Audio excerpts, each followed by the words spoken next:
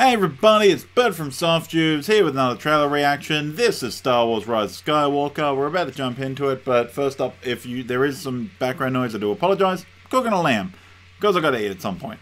But anyway, guys, let's just jump on in.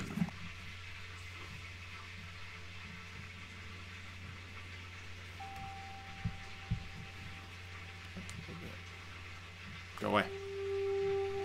Two sons. Ooh, they're doing their retrospective. Feels a bit. Hmm, I don't know. It just doesn't feel great to do this. Sort of cheap. I'm also not sure what the fuck this is going.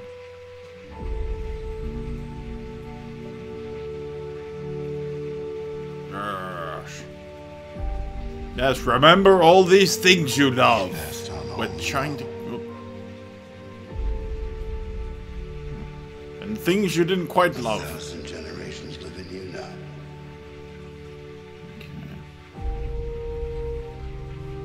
Oh, they jumped past all that stuff quick. But this is your fight. Why didn't I judge her in there?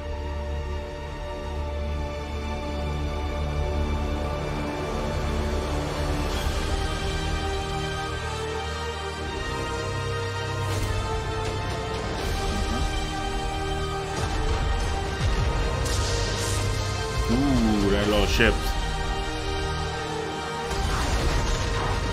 That was C-3PO.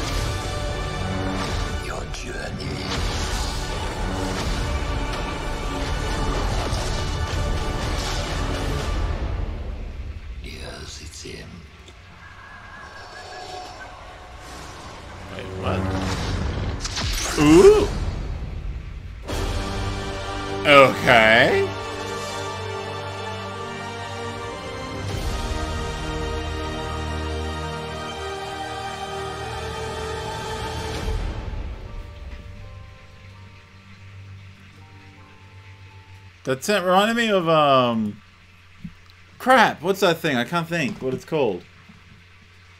Ah, it reminded me of another movie. Uh, ah, damn it, I can't think what it is. Damn it, it's like a lullaby thing and it's... Ah, damn it, I can't think of it.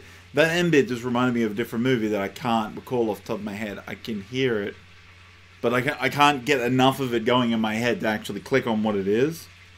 Ah, I, I just can't get there.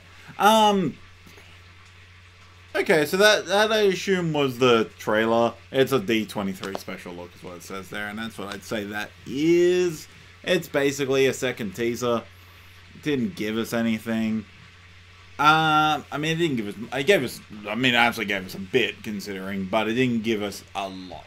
Um, a lot of that was pretty well easily to figure out. There's going to be a big fight, like some sort of a war in the stars um, that kind of thing. I really hope that noise is not too loud. It might be diffused, but we'll I'll find out when I edit this. Um, C3PO has red eyes. That's interesting. What the hell's up with that? I'm not sure how I feel about that. C3PO go evil? What the what's going on? Why why was did they specifically show a shot of C3PO? Like that's one of those things of like why would you show us that? I, I it feels like it has to be important. But the, the, that being said, the Rey Kylo fight stuff definitely saw coming. The end of that is Rey in a black hooded robe with a double-ended lightsaber that flips around because having just a solo one ain't cool enough anymore. You want one that can be two for some reason and then flips. I guess that's just them trying to find something interesting to do with it. At this point, they've kind of done all the main ones. Um, there's a couple of ways that's gonna work. Either that is it. I'm so torn on that. So my, my natural instinct, straight off the bat, especially given this is J.J. Abrams, which I will get into, uh, is that is a dream or a vision or something. That isn't real. That doesn't happen. That's my gut reaction towards this. Uh, that that is simply something, and it's only here to try and hype up fans. Uh, whereas it, it actually is not a thing that happens in the film specifically. Um, it's not like part of the canon that she turns to the dark side and gets the lightsaber. Because that's a very specific thing. Getting a light like that's not just like, oh, she happened to pick up someone's friggin' lightsaber. Unless for some reason either Kylo gets a new lightsaber, the Emperor, who we know is going to be in this, has that lightsaber for some reason, or there's another uh, apprentice for Palpatine. Um, which, uh, so I feel like it has to be a dream or something along those lines. But I could be entirely wrong because that lightsaber is too specific.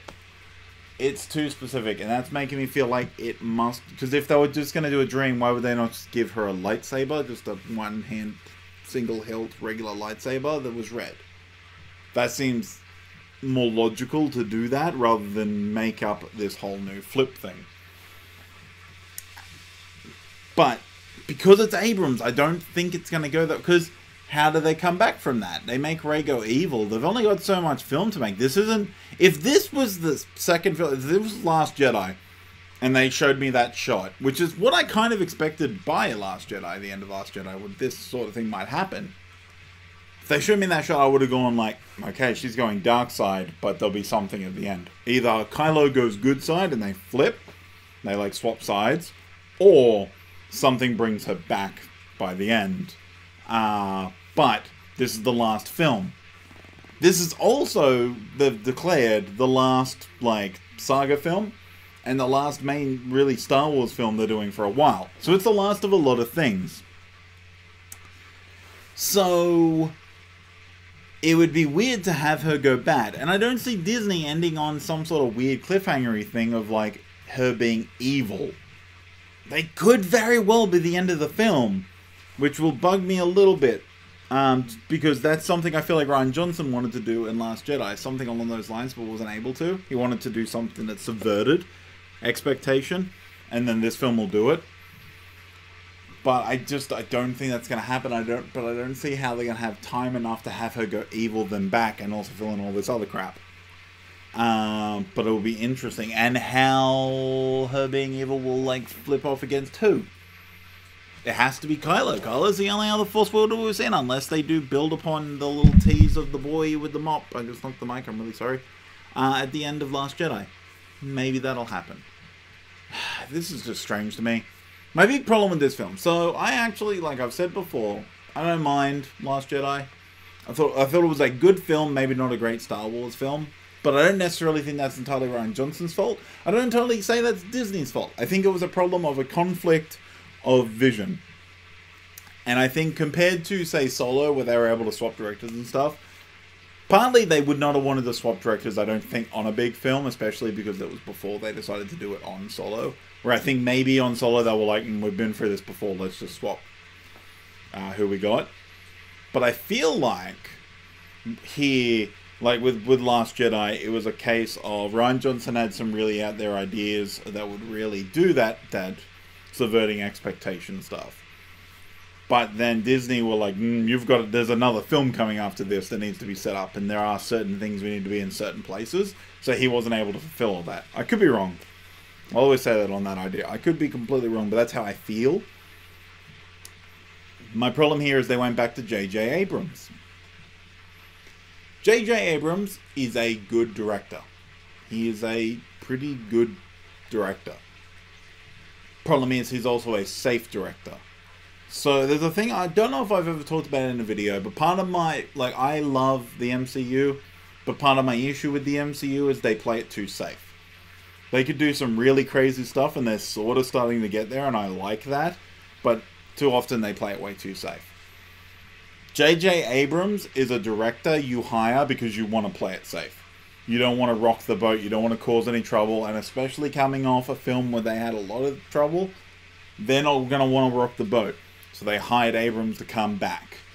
Force Awakens is a decent film, but it's not great. It's not particularly memorable because it's too safe.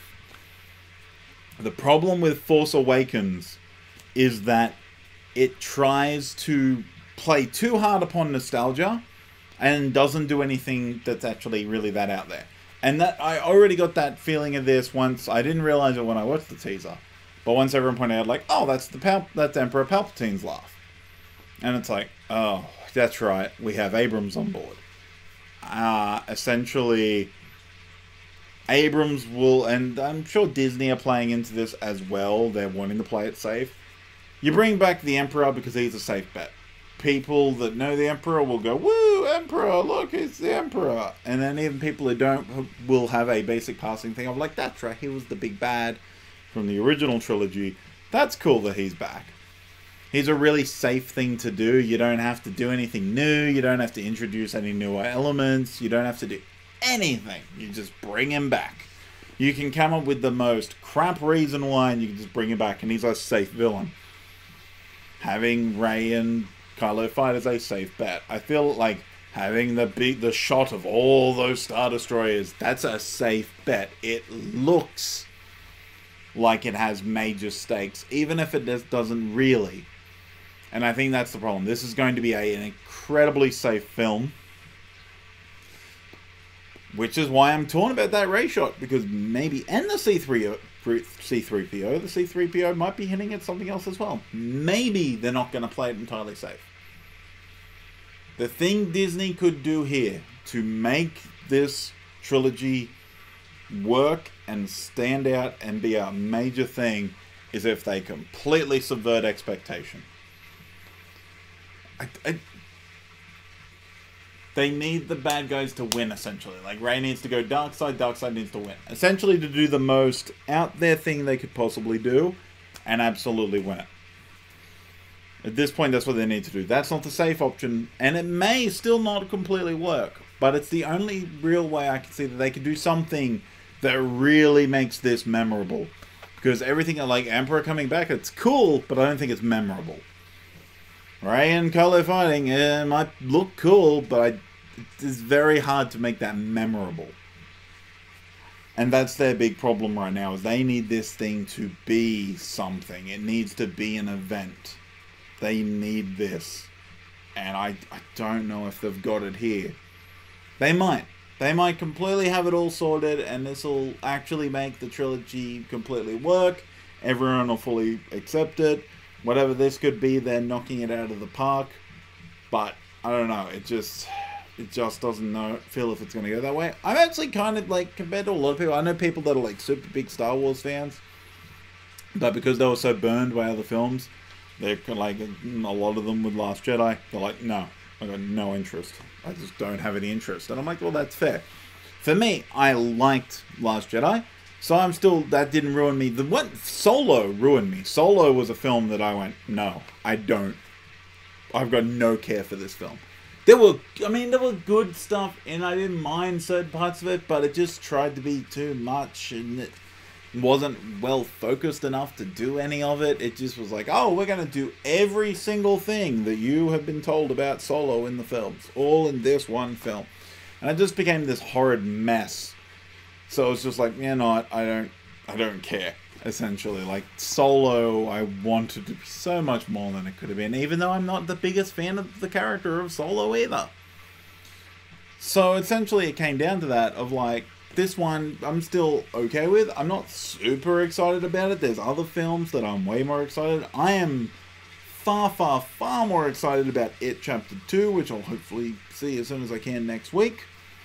Like that is like possibly the most excited I am for a film the rest of the year. This I'm like, I'll go see it. I'm I'm, I'm actually at least eager to go see it. There's a lot of films that have been coming out that I'm just not eager enough to go see. With this, I'm like, yeah, I'll go see it. But I just I don't know if they're gonna have anything that's gonna make it stand out. Man, I mean, it kind of sucks. I was a, I was one before Force Awakens was like, you know what? Just because Disney has it doesn't mean it's bad. Like Disney, people always do that. Like, oh, Disney's gonna ruin it. Like they ruin everything. Disney has not ruined that much. Usually, Disney take things and they let them be themselves. They don't suddenly start ripping stuff apart. Marvel have done really well under Disney and so, like, but it's still people go like, "Yeah, they ruin it," and a lot of that does come from the people who argue that Disney try to enforce this SJW type agenda, which, I mean, you can look at Disney and go, I don't know if they actually have anything of the kind. They have a money making agenda, certainly. So they'll do things that they think will make money, but beyond that, not much. So, I don't know. This is just.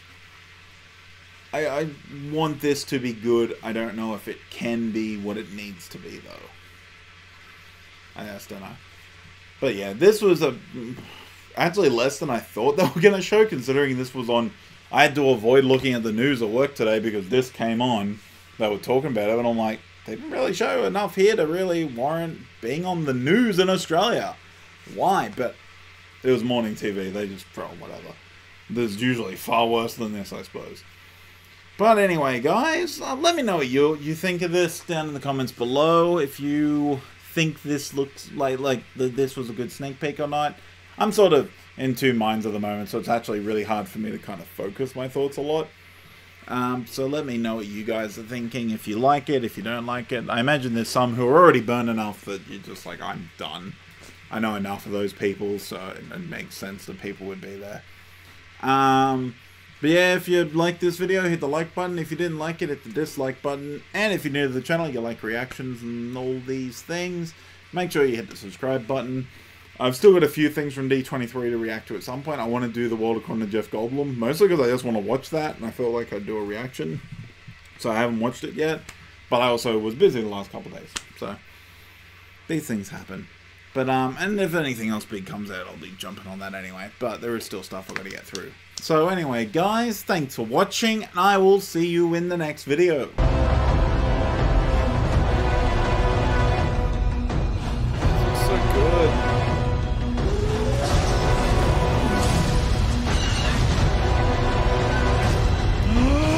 IG88! Yes! Yes! Fucking love IG88.